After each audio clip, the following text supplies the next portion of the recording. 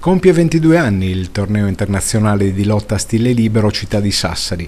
Abbiamo sentito il presidente dell'Athlon Enzo Piroddu che ha presentato l'evento e altre manifestazioni che porteranno la Sardegna alla ribalta mondiale della disciplina olimpica. Anche quest'anno abbiamo un numerosissimo entourage partecipante di nazioni, uh, attualmente abbiamo un'iscrizione di circa 30 nazioni, dal 2016 abbiamo cambiato anche il programma, quindi ci saranno due giorni di partecipazione per quanto riguarda la lotta olimpica, sia de della classe junior che della classe senior.